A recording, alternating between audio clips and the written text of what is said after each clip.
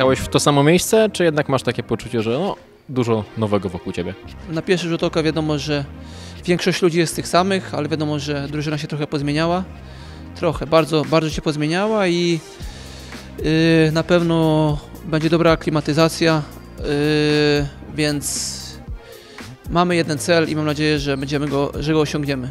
Wspomniałeś o tym, że podpisujesz kontrakt na dłużej. Czujesz taki komfort psychiczny z tym związany, że to jednak nie jest tylko wypożyczenie na pół roku, tylko już taka no, solidna podstawa? Nie, ja bardziej nie skupiam się na tym, jak długo trwa kontrakt yy, w danym klubie. Oczywiście dla komfortu psychicznego lepiej grać yy, czy trenować, jak się wie, że ten, ten kontrakt jest dłuższy, ale ja skupiam się przede wszystkim na, jak ja zawsze to powtarzam, na każdym nadchodzącym dniu, każdym nadchodzącym meczu. Taki na pewno będzie mój cel. Yy, każdy nadchodzący trening, żeby, żeby był jak najlepszy. Później, yy, wiadomo, mecze są najważniejsze, ale mówię, że tylko zawsze to powtarzam, że każdy nadchodzący mecz w 100% jak będziesz skoncentrowany, to tylko tak możesz iść do przodu i się rozwijać, nie myśleć na tym, o tym, co będzie, co będzie za miesiąc czy, czy za pół roku, bo, bo to nie jest istotne.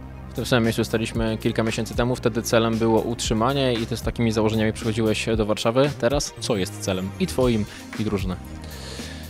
Celem jest przede wszystkim, yy, myślę, drużyny, żeby przede wszystkim yy, rozwijać się jako drużyna, być kolektywem.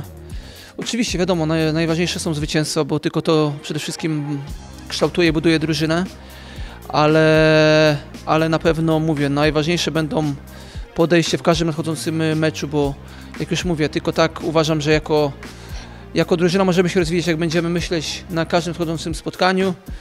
Yy, I wierzę w to, bo jest duży potencjał w tej drużynie, że możemy sporo osiągnąć, bo, bo mówię, nie brakuje jakości. Yy, mamy świetny, tutaj można powiedzieć, sztab, świetne warunki do tego, żeby się rozwijać i żeby walczyć, żeby walczyć o jak najwyższe miejsce w lidze.